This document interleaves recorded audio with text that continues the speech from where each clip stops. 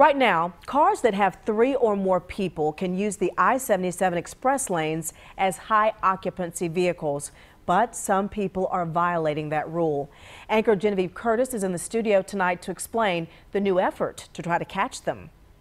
Yeah, Erica, there's going to be a new way to catch people in those express lanes, a new technology for people who are trying to ride for free. This technology targets those who switch their transponder, claiming they're carpooling when they're not.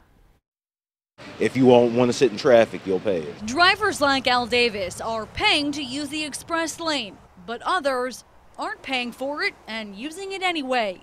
I always wondered how they were able to find out how people, because I've seen people from other states with different license plates in the toll lanes. So I was like, how are they paying for it? We first told you in October, Highway Patrol is seeing a major spike in the number of drivers sneaking into the express lanes, claiming they're carpooling so they don't have to pay. They're switching their transponders into high occupancy vehicle mode even without the extra passengers. You not only need one other person, you need two other persons in the vehicle to declare yourself that high occupancy vehicle. Now the express lane will be adding new camera technology to determine the number of people in the car. They'll compare those images to the setting on the car's transponder.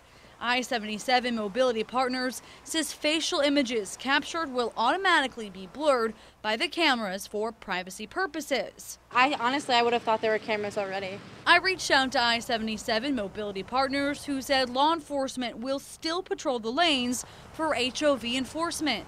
To make everybody pay for the toll that they use. Now I asked when this enforcement is going to start. I'm told the cameras need to be installed first, then there will be a testing phase. So right now there isn't an exact start date at the moment.